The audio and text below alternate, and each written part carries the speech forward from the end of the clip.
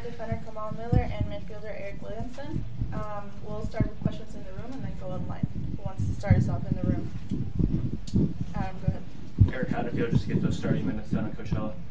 I think they're massive. Um, it was good to kind of come in, um, have a short off season, and um, turn it around quickly so I could I could get those minutes. So it's not the first game of the season, and it's you know MLS minutes are different from preseason minutes, but it's good to kind of you know get a taste of the water and, and you know get going from there. Uh, John, go ahead. Eryk, uh, looking back at the whole process, the injury, recovery, all that, what did you learn? Uh, I learned a lot about myself, you know, and it's a lot of um, not taking the game for granted. Um, you know, sometimes as, as, athletes and as players, we kind of think, you know, oh, here's another game, and when that gets taken away, it's you know, it's what's what's next to come. So it was good to, you know, kind of take a step back and, you know, be be here for the team as as needed. So that was kind of you know, big, and, and at the same time, just kind of taking care of the mentals. Um, sport's not easy, and, and being an athlete's not easy, and you know, two injuries in, in almost two you know, a little under two years um, was was a lot to take in, but it was good and had a good support system around me that you know kept me in it. Uh, go ahead. Kamal, and how excited for you that the game is finally here? Yeah, I'm very excited. It's been a long time coming. Uh, a lot of lead up. Uh, preseason flew by. Um, so overall, I'm just very happy to finally play in front of the fans and get my debut at Providence Park. I know it's going to be special for sure. And then for those fans that haven't seen you yet, which is most, you know, we watched a lot of Miami games last year. What do you bring to the team? I think uh, I just bring a calming presence at the back. Uh, when I'm on the ball, I think I can get our attacking guys in good spots. Uh, I think this league is a lot of transition.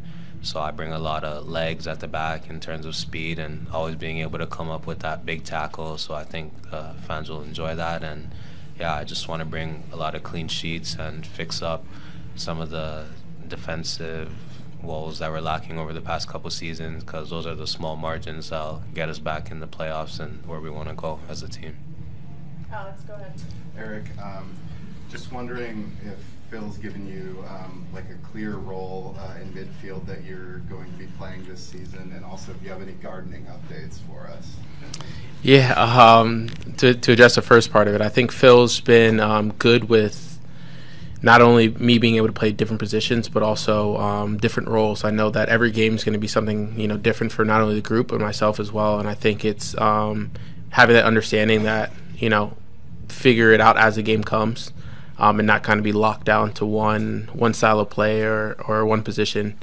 Um, and I think the garden it slowed down. We had a little bit of freezing rain, so a lot of things died. But got some hydrangeas coming in, which is which is a good sign. And um, yeah, I'm just excited. I think I'm gonna pass it on to Kamal a little bit. He's he's you know got the house coming along and making sure he has a garden too. So. Uh, Felipe. Kamal, how you doing, Felipe Ramos? Players in the world can say you won a trophy with the GOAT. With Messi. So you are bringing something, an experience of playing with someone that is so successful.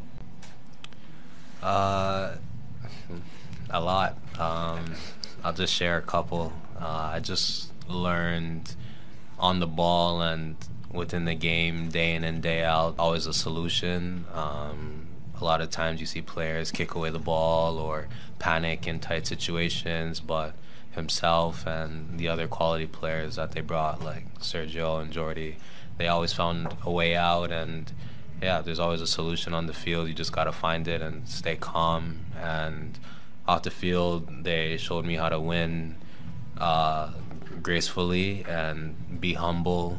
Um, opponents' faces, they won with so much grace and and yeah, it, it shows why they win the small things. Uh, Tyson, go ahead. Phil and Ned both seem to be counting down the days until you guys sign the, the deal. Like going into a, a season without having somebody that is expected to be so relied upon throughout the year, like how quickly can that all come together once you guys do make a signing?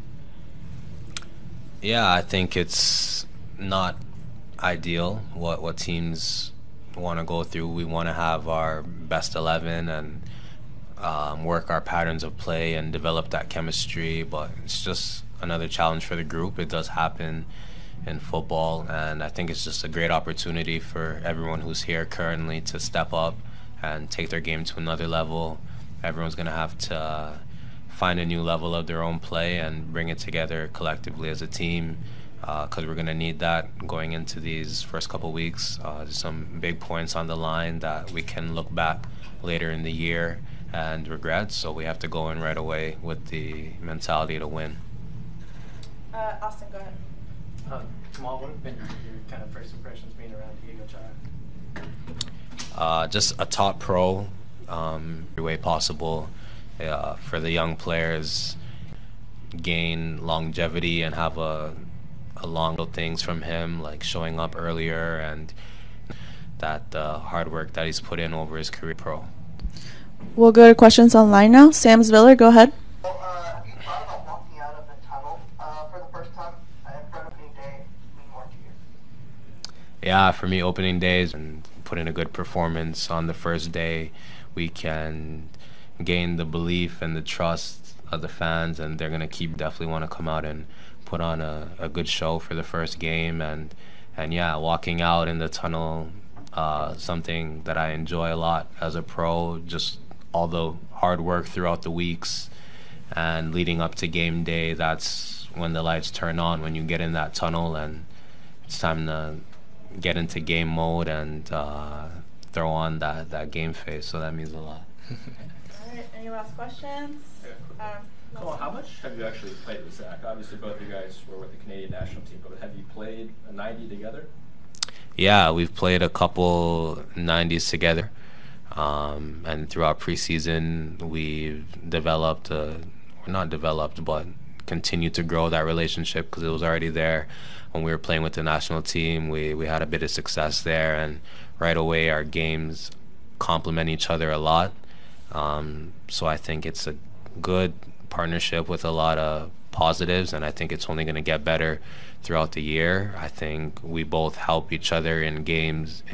Um, so yeah, I'm excited to see how far we can take this partnership. And um, at this point in both of our careers, it's a time where we're both looking to step up and be the leader on the back line. So why not both of us? We'll wrap it there. Thank you, Eryk. Thank you, Kamal.